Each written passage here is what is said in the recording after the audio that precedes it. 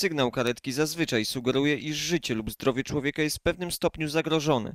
Podczas oficjalnej prezentacji nowoczesnego ambulansu medycznego ze sprzętem medycznym dla pogotowia ratunkowego w Sanoku, sygnał nabrał radosnego znaczenia. Ta karetka, która jest nowa, jest karetką specjalistyczną, jest jedyną karetką, która ma w swoim składzie lekarza i ona jest wysyłana tylko do tych zdarzeń, które są zagrożeniem życia. To, a więc utrata przytomności, zatrzymanie oddechu, nagły wypadek powiedzmy samochodowy czy jakiś inny. No, zdarzają się na przykład e, wy, wypadki w gospodarstwie dorolnym. Przypomnę słowa pana doktora Buczka, że doczekał czasu, że będzie nowa karetka, bo do tej pory e, wspomniałem wcześniej, że w 2007 w naszej starej karetce nawet koło odpadło. Kupowaliśmy używane karetki po dużym przybiegu. Natomiast na dzień dzisiejszy mamy całkiem nowiutko, przede wszystkim znakomicie wyposażoną. Sanocki Szpital złożył wniosek do programu operacyjnego Infrastruktura i Środowisko w ramach Europejskiego Funduszu Rozwoju Regionalnego.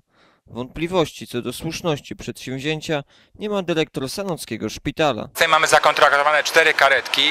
Jedna karetka jest to zespół dawny reanimacyjny, obecnie specjalistyczny i trzy karetki wypadkowe, czyli podstawowe.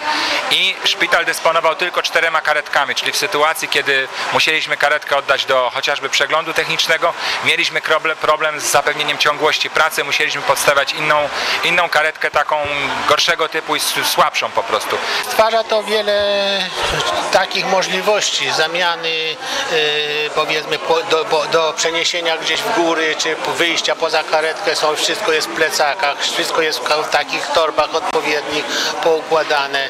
Z tego wózka można zrobić krzesełko, e, że nie trzeba na przykład e, na noszach nieść po schodach w mieście, gdzie się nie wymieści, tylko można z tego zrobić krzesełko, żeby się dało wynieść. Klatki są schodowe czasami bardzo e, wąskie. Także w dziedzinie transportu pacjentów na przestrzeni ostatnich kilkunastu, kilkudziesięciu lat dokonał się ogromny postęp. Postęp jest ogromny. Zaczynaliśmy tutaj w pogotowiu. Najpierw karetka reanimacyjna była na Nysie, potem tam karosyjska czy tam łotewska Potem był pierwszy Mercedes taki 310, Fiat Ducato, no i teraz y, ostatnio jest Crafter. No teraz dostaliśmy właśnie tego Mercedesa, no widać, że auto jest z najwyższej półki. No zobaczymy jak się będzie spisywać. No myślę, że dobrze i trzeba to, jak powiedziałem poprzednio, wykorzystać jak najlepiej. Ambulans kosztował ponad 435 tysięcy złotych, ponad 70% kwoty zostało pokryte ze środków Unii Europejskiej. Blisko 90 tysięcy złotych dołożyło Starostwo Powiatowe w Sanoku. Pozostałe środki, czyli prawie 30 tysięcy złotych, to wkład własny szpitala. Przed placówką jednak kolejne inwestycje i zadania. Przed nami budowa lądowiska, budowa garaży dla karetki pogotowia. Także w tym roku no, wielkie inwestycje. To co wcześniej mówiłem, 15 milionów do przerobienia w tym roku. E, Oddział kardiologii, przeniesienie kardiologii, właśnie karetka, jakby następne elementy tych, z tych 15 milionów złotych. Mamy naprawdę grupę bardzo dobrych ratowników medycznych, pasjonatów, mamy świetnych lekarzy, mamy oddział ratunkowy, który również ma miejsca specjalizacyjne z zakresu ratownictwa medycznego.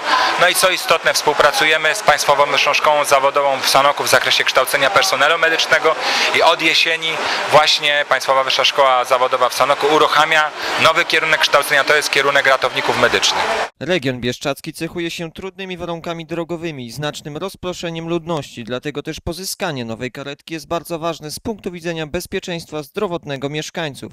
Lepszy transport to dla pacjenta gwarancja szybkiej, niezawodnej pomocy medycznej w sytuacji zagrożenia zdrowia lub życia.